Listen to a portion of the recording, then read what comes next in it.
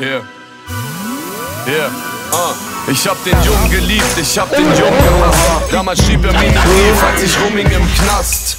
So eine Freundschaft entsteht nicht im Handumdrehen. Manchmal wollte ich diesem Echo fast den Hals umdrehen. Wir beide gingen mal durch dick und dünn. Dann haben alle mitbekommen, dass wir verstritten sind. Er hat gestichen,